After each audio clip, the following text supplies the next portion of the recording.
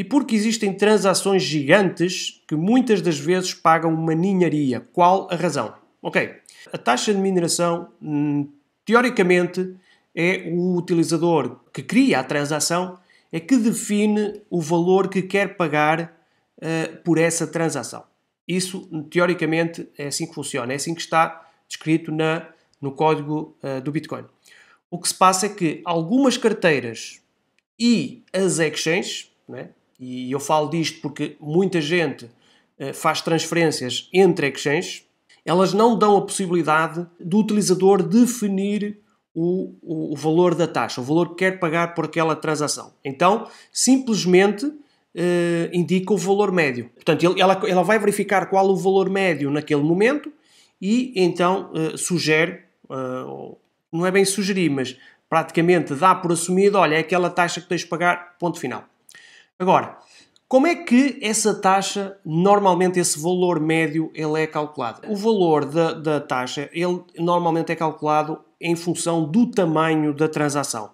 E quando falamos em tamanho, não tem a ver com o valor uh, monetário que se está a transferir, mas sim com o, o tamanho é da informação daquela transação. Ou seja, quanto é que em bits ocupa uh, aquela, ou em bytes, quanto é que aquela transação ocupa na blockchain em bytes. E paga-se um valor por byte. Uh, e então porquê é que há muitas transações de, de, grandes valores que pagam uma taxa muito pequena e outras transações que até têm o valor até é mais pequeno, em termos de valor transacionado, não é? E acabam por pagar uma taxa maior. Porque ocupa mais espaço. E porquê é que ocupa mais espaço? Porque tem mais inputs e outputs. Ora, um, para quem não sabe, uma transação ela é composta por inputs e outputs. O que é que é isso? São uh, entradas de informação e saídas de informação com, com os montantes. Uh, eu vou mostrar-vos aqui, vou abrir aqui um bloco e vou-vos mostrar aqui esta transação aqui. Ela tem um input e um output ok? É claro que esta transação ocupa muito menos do que uh, uma transação que tem mais inputs e ou mais outputs? Esta transação aqui diz que uh, o seu tamanho é de 192 bytes, ok? É quanto ocupa esta transação lá na, na blockchain do Bitcoin. Se eu pegar numa, numa transação que tenha muitos mais inputs e outputs. Deixa-me ver se eu encontro aqui alguma. Olha, tem aqui esta, por exemplo. Tem muitos, tem muitos inputs.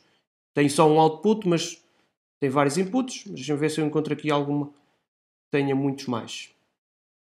Se eu entrar aqui nesta, vamos ver que o tamanho aumenta logo. 826 bytes. Reparem, anterior, só tinha 2, ocupa 192 bytes.